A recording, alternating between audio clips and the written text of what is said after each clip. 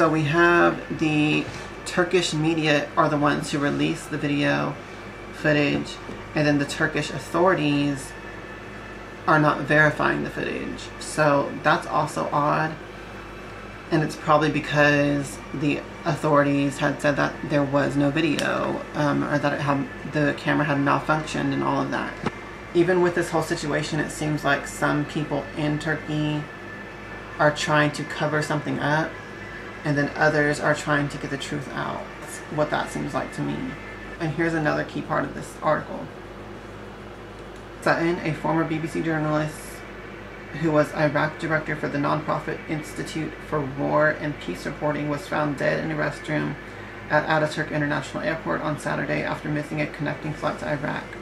Turkish media reported, without citing sources, that Sutton became distraught that she didn't have money for a new ticket and hanged herself with shoelaces from a restroom door hook. The report said she was discovered by three Russian tourists who alerted police.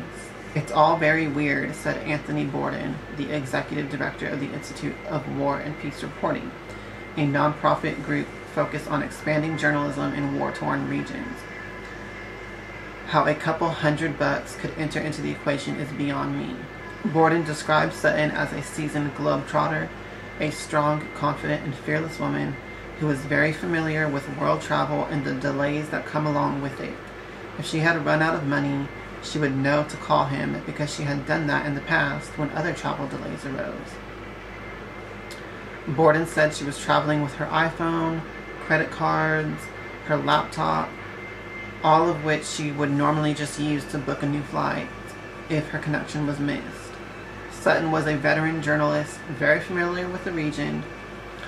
Before working for the nonprofit, Sutton held United Nations media positions, was a journalist with the BBC, and had been working toward a PhD at the Australian National University. Her university webpage says her research focused on supporting women journalists in Iraq and Afghanistan. A friend who met Sutton about four years ago when he worked with the United Nations Development Program in Iraq doubted that Sutton would even miss the flight to begin with, characterizing her as anything but confused or forgetful. I also cannot imagine her not having money to buy another ticket. I am sure she carried credit cards and not to mention had a decent and steady income over many years. Unless there is clear evidence she committed suicide, she was definitely murdered. This is quoted from Hiwa Osman, a friend of Sutton's in Iraq and a former media advisor for the Institute of War and Peace Reporting. Sutton was also bringing back toys and books for Hiwa Osman's children, and there was no indication she was unhappy, he said. Okay, let's move on to the next one. And the title of this article is Sutton had 2,300 euros in her wallet, contrary to suicide motives allegations. I'll put the link below in the description box, like I said, and it's the one called um, Sutton had 2,300 euros in her wallet. So basically, this is just saying that the allegation that she didn't have enough money to buy an, a second plane ticket is a flat out lie because in her wallet was 2,300 euros. She, she had plenty of money to buy a new plane ticket. And um, it just corroborates the video showing her with a shopping bag and stuff from within the airport's um, shops and stuff. She had plenty of money. And that's basically all this article is about. And the final article that I want to talk about is this one was published in no, on November 25th of 2015, about a month later after the initial reports and stuff. This is on the Sydney Morning Herald website. The title of it is What Happened to Jacky Sutton. So it really just sort of reiterates the story, talking about her background, her work, all of that, how she was found dead, how it doesn't add up. And this article also has the actual CCTV footage of her as well. Now, the key points that I want to cover with this article is this. So there's a part here in this article where it says she also told Whitley, one of her friends, of stumbling upon corruption within a, within a UN agency that employed her in Afghanistan and of securing the release from prison of a colleague who had tried to blow the whistle on this corruption. Because of that, she was forced to leave Kabul in a hurry. So she basically had to flee. What stands out to me with this is that she was embroiled in all of this political stuff, okay? Um, and also coming across corruptions in the UN and things like that. So she probably had a lot of high level enemies who would have want her silence. Not to mention on both sides with the UN, but also with um, ISIS and the terrorist groups. But her work involved her in a lot of danger, once again, like I said. So there's another part here where it talks about, once again, this guy, Anthony Borden, which is a friend of hers, is saying um, concerning the memorial service of the previous director that Sutton ended up replacing, there he's saying that the service was very intense and emotional but ultimately uplifting. It left all everyone involved determined to carry on their murdered colleagues' work because once again, um, that previous director was also murdered in a car bombing. This woman was filled with a higher drive and passion and a renewed passion for her work. It makes no sense she would kill herself shortly thereafter, in the, within the same year, basically. Now, here's one of the main parts of this article that I found of key interest. In Sutton's luggage for the return journey to Iraq were books for her PhD research, presents for her friend Osman's children, and 10 kilos of rabbit food for a rabbit she was helping to rehabilitate. Why would she have those things if she was planning on killing herself? You know, that doesn't add up. That doesn't make sense. She was clearly planning to get to her destination. At the Istanbul, Istanbul airport itself, where she was supposed to carry over to her next flight, she bought two bottles of wine, which she had promised her friend. So in within the airport herself, where she allegedly killed herself, she bought two bottles of wine to give to her friend when she got to Iraq. Why would she take the time to buy those bottles of wine in the airport if she was gonna kill herself in the airport? It doesn't add up. Because of the cameras, we know that Sutton headed for a cafe where she ordered a beer and drank it slowly while reading a John Grisham novel. After an hour, she made her way to a waiting area where she sat down and apparently fell asleep. At 12:15 a.m., when Sutton's plane left on schedule, she was still in her seat, apparently asleep. 15 minutes later, she walked to the departure gate and found it closed.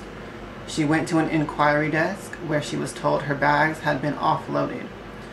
The next plane to Erbil was in 12 hours and if she wanted to be on it, she would have to buy another ticket. This was hardly a catastrophe, Borden points out. Frankly, experienced travelers miss a flight and they pretty much feel relieved, he says. Okay, I'm going to a hotel. IWPR would have paid the airfare, and what difference does it make if you get to Erbil a bit later? It doesn't make a damn bit of difference. That's another thing that's interesting. Her work would have paid for her air ticket. So, what is with this claim that she didn't have enough money to buy another ticket? It does not make sense. Not only was she found with 2,300 euros in her wallet, but her company would have bought the ticket anyway. Another friend of hers, Sebastian Cleach, says the Jacky I know would have either taken the opportunity to have a night out in Istanbul or she would have started working on her next thesis chapter while waiting for another plane. Instead, Sutton walked directly from the desk to the restroom where she disappeared from the view of CCTV cameras. Over the next seven minutes, people entered and exited the restroom. Then, three young women walked in together, only to emerge almost immediately in apparent panic. They ran along the transit hall and returned with an airport official. Within minutes, a medical team arrived. So, that's also of key interest to me because they're saying that the footage shows her going into the bathroom and seven minutes pass and you have people going in and out of the restroom. Who are those other people? Have they been investigated um, and talked to and interrogated on what they saw in the bathroom? One of those people that entered could have murdered her, you know the next section of this article says Anthony Borden was woken on the morning of Sunday, October 18th, by a phone call telling him Sutton was dead. He dismissed out of hand reports that she had committed suicide. I said, It's a crime, Borden remember, remembers. That was my immediate reaction, and I think everybody else felt the same. In Canberra, Sutton's friend, Sarah Vansia, had no difficulty believing she had been killed a lot of people would have hated her, really, really hated her for what she was doing, Vansia says. She would have had a lot of enemies. Sutton had spoken out strongly against ISIS, and in her jubilation at landing the million dollar grant, had forgotten her plan to stay off Facebook. She posted a message saying her social media project was part of efforts to disrupt the hateful garbage that ISIS is spewing. It seemed to colleague Susan Hutchinson that ISIS wasn't the only suspect. A bunch of people, in quotations, might have liked Sutton's silence. There's a very strong history of the Turkish police at the airport being violent and nasty to people who they perceive as being pro Kurdish, she says. And another friend of hers is quoted as saying, These things can be made to look like suicide. Hutchinson said. So it's very clear that pretty much every single one of her friends and colleagues doesn't believe she would have committed suicide in the first place. But then when you add all this other clearly suspicious stuff around her death, it seems very much like there's some sort of cover up or conspiracy going on here. So it's very bizarre, very sad and I'm pretty sure, yeah, that's basically all for what these different articles have to say and all of the research into this that I've done so far just since I woke up today. Very interesting story and something that I feel, like I said, just compelled to share with you all and put it out there. What really happened to Jacqueline Anne Sutton, perhaps we will never know, but it certainly seems suspicious, um, the circumstances surrounding her death and alleged suicide. I will say personally, I don't believe that she committed suicide. I think she was murdered by one of her many enemies and possibly even people in the government of those countries and areas. She was silenced because of her activism. Now, one final thing to this once again to tie it back to my dream, the um, college she was enrolled in, the Australian National University, and in particular, the building where she would have been pursuing her PhD, is right beside that field with the trees and the creek nearby, which completely and perfectly matches with my dream location. And another part to that the memorial service that the college held for Jacky was in the courtyard of that building, which is right in the vicinity of that field in that area. So I feel that her spirit definitely came through in my dream and was letting me know that perhaps she still visits at the least or watches over her friends and colleagues that are still, you know, around that area. And one thing I would be interested to know is is there some sort of you know, like memorial installment in the the courtyard of that research center? Would there be some sort of like memorial plaque that's there? Maybe they installed something like a bench or planted a tree or some sort of um, memorial for her. I haven't got that far in the research today, but I'm wondering if there is something there that would draw her to that area, to haunt that area in some regard. Just in closing with this article, it says, For many, Sutton's death remains a puzzle. It still doesn't add up, says Anthony Borden. It will never add up to me. Sebastian Cleach understands Sutton's friend's reluctance to accept that she committed suicide. We had an idea of Jacky that we didn't want to let go of, he says. We saw her as a fearless warrior, essentially, with a heart of gold. Susan Hutchinson will always see her that way. I'm never going to be able to rule out something sinister, she says. And in closing with this, there is a little bit of a conversation with Jenny, which is um, Jacqueline's sister. And it just goes on to say that um, the sister thinks maybe it is possible that she committed suicide. But again, there is a, a sort of a bizarre thing with that. Because she says, like, um, she believes her sister had accumulated trauma from years of living and working in war zones. That doesn't really make sense if you think about it. Because this woman, Jacqueline Sutton, seems like the type that would just be further motivated by that, by the horrible things that she sees or um, experiences. Um, and her friends seem to agree with that. So it doesn't make sense that that would be something that would cause her to kill herself. And certainly not in an airport during a crossover flight to get back to Iraq. It doesn't seem to add up in any way or any angle that you look at it.